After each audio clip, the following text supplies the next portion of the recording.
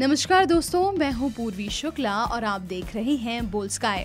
आज के दौर में महिलाओं के लिए लिपस्टिक दिनचर्या का एक अहम हिस्सा हो गया है। अगर वो लिपस्टिक न लगाएँ तो उनकी सुंदरता नज़र ही नहीं आती, क्योंकि मेकअप में सबसे अहम हिस्सा लिपस्टिक को भी माना जाता है। शायद ये बात बहुत ही कम लोग जानते हैं कि लिपस्टिक में कई तरह के ऐसे हानिकारक पदार्थ पाए जाते हैं जो महिलाओं के लिए खतरनाक हो सकते हैं।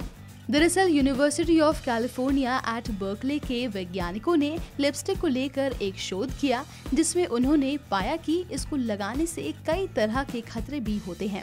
इसके लिए उन्होंने अलग अलग जगह से करीब 32 तरह की ब्रांड की लिपस्टिक लेकर इस पर गहन अध्ययन किया। जिसमें पाया गया कि इन प्रोडक्ट्स में कई तरह के हानिकारक केमिकल पाए जाते हैं।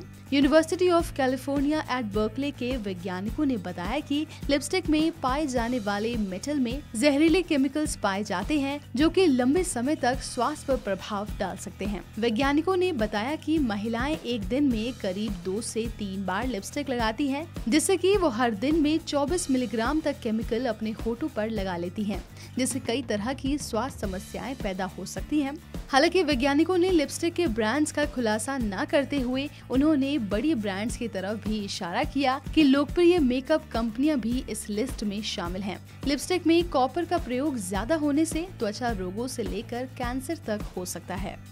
इस वीडियो में फ़िलहाल इतना ही। लेटेस्ट अपडेट्स के लिए जुड़े रहिए बोल स्काई से।